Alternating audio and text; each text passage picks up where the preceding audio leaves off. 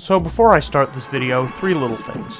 One, this is a fancy George Lucas-esque re-re-release of a previous video I've made, this time with far more context, elaboration, midichlorians, etc., and this time it also has better audio quality. Two, there are spoilers here. Buy and play through Hotline Miami before you watch this video, with emphasis on buy. Please, oh please, purchase this game and play through it. It's made by two awesome, crazy Swedish guys who deserve your money, and if you have no interest in purchasing this game, look at pictures of dolphins or whatever, because this video isn't going to be of any interest to you.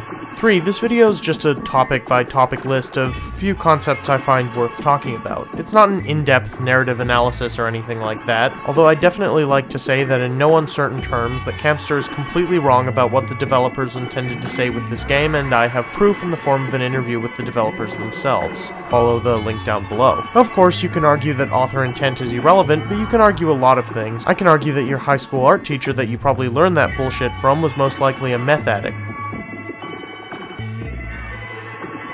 Hotline Miami, for all its neon-soaked, heavily stylized, pixelated psychedelia, is disturbingly realistic when it comes to its depiction of violence. While most games are content to set their combat systems within a logic-free bubble, one where taking multiple 9mm rounds to the head is totally survivable, Hotline Miami takes a far more distressing route. If characters are shot, they'll die instantly, and when characters are struck with blunt weapons, sometimes they'll die on impact, and sometimes they'll be left bloodied but not damaged enough to not try and crawl away. And if characters are punched, they'll be knocked over until the deed can be finished, usually by smashing their heads against a gaudy linoleum tile floor until the back of their skull cracks open. Of course, as you can see, Hotline Miami is heavily stylized, so notation sounds a lot worse than depiction, but that ties into the topic of disassociation, and we're not quite there yet. Anyway, in order to be allowed to exit a stage, literally every living thing inside the building you've been assigned, dogs included, must die horribly at your hands, and you'll kill them, but more importantly, your player character will kill them.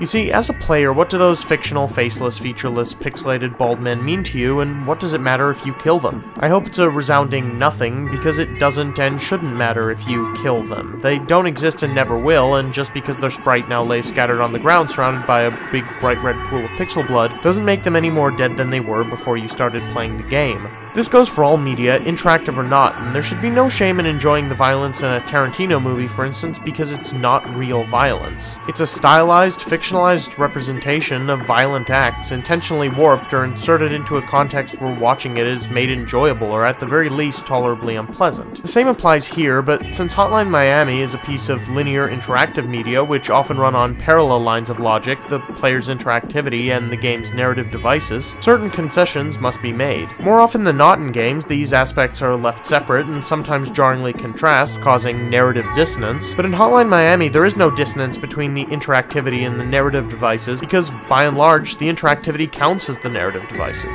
Within the boundaries of the game's narrative logic, the people being massacred en masse by the player characters are living human beings who have themselves done little, if anything, to warrant their fates. As characters, what do you think those living human beings mean to Jacket and Biker, and what do you think it matters to them if they kill them? Perhaps they see them the same way you do, as faceless and nameless non-entities whose fates matter very little. Oh look, I drew a parallel. Jacket is in many ways a cipher, but he's a cipher with an illustrative purpose. Take for example the question scene, wherein four questions are presented to Jacket by three masked figures representative of his fractured psyche and his restless conscience. They're as follows. 1. Do you like hurting other people? 2. Who's leaving messages on your answering machine? 3. Where are you right now? And 4. Why are we having this conversation?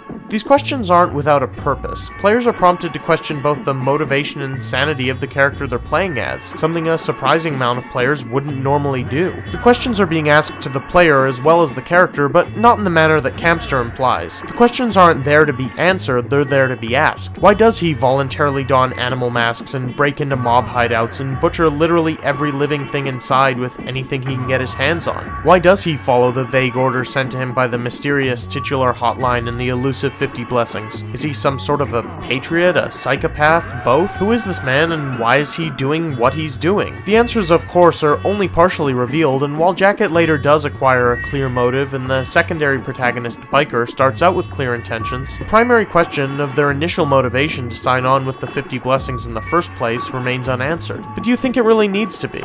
Maybe they just thought killing would be fun. Didn't you think it was fun? Oh look, I drew another parallel. Basically, it's this. You, the player, enjoyed the violence because of its presentation, its aesthetics, its kinesthetics, and its design. Jacket enjoyed the killing because, well, he's insane. Biker also enjoyed the killing because, well, he's insane. Really, the only reason he ever wanted to get out of the 50 blessings in the first place is because it stopped being fun for him. Literally, he wanted to stop playing the game. Man, this got really deep really quick. Please sit back, relax, and enjoy this video of my novelty pink flamingo. It settles the mind and eases the soul.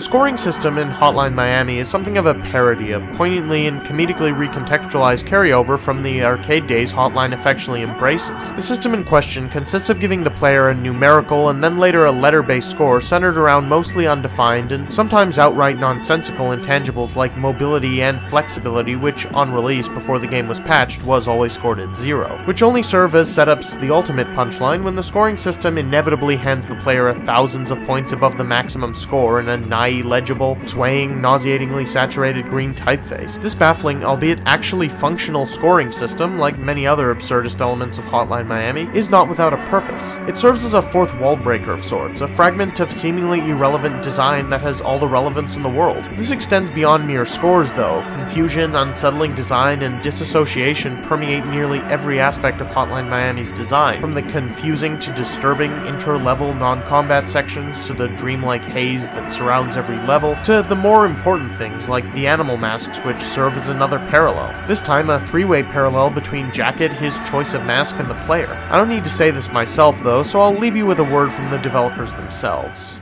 Incorporated the whole like if you have an animal mask, it becomes an animal, and animals don't have to be responsible for their own actions because they are mm-hmm. animals. If they kill something, it's natural. Yeah. So, so for him, putting on an animal mask makes him makes him into an animal, so he doesn't. It's not responsible for what he's doing. It's the animal yeah. that does it. It like that gives also, maybe that's yeah, and that's why we gave them names as well to like like what's it called give Distance, him uh, yeah. Uh, distance himself from what he's doing, so he becomes a different personality. Yeah, he becomes called the locust. He's not himself. It's called the locust that kills everyone. And yeah. Mm-hmm. Huh. Just like in video game. Yeah, like when you play a video game. I didn't do it. Niko Bellic killed others.